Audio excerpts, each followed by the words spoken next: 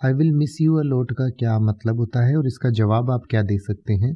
ये आज के इस वीडियो में सीख लेते हैं। I will miss you a lot का मतलब होता है कि मुझे आपकी बहुत याद आएगी, या मैं आपको बहुत याद करूँगा या करूँगी।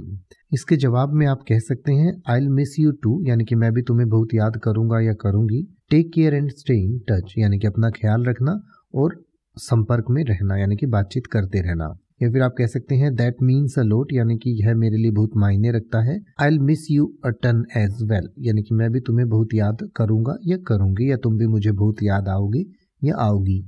या फिर आप कह सकते हैं I'll carry your words with me I'll miss you dearly यानी कि ये जो आपके शब्द हैं, वो हमेशा मेरे साथ रहेंगे और मैं आपको बहुत दिल से मिस करूँगा या करूँगी। अब आप ऐसे ही किसी भी वर्ड का मतलब हिंदी और इंग्लिश में यूट्यूब पर सर्च कर सकते हैं। आपको मेरी वीडियो मिल जाएगी, जिसमें आप बिना किसी फालतू बकवास के सीधा उस वर्ड का मतलब समझ पाएँगे। तो ऐसी ही वीडियोस को देखते रहने के लिए चैनल को सब्सक्राइब करें और बेल आइकन को प्रेस करें।